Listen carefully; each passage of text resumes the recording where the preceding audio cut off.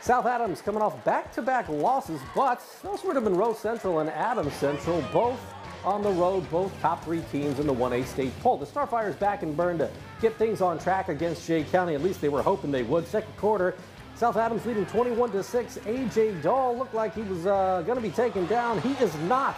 AJ Dahl, nothing dull about that run. 41 yards to give South Adams a 28 to 6 lead. Second quarter still.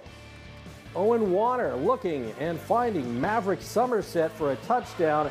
This one goes 31 yards. Owen Warner, five touchdown passes under center tonight for the Starfires. He was 35 to 6 after that score. Then some special teams. Brady Beal, he blocks it and Brady Beal jumps on it. Brady Beal doing everything in that highlight. It's a touchdown. And guess what? South Adams is back on track. The Starfires top Jay County 42 to 13.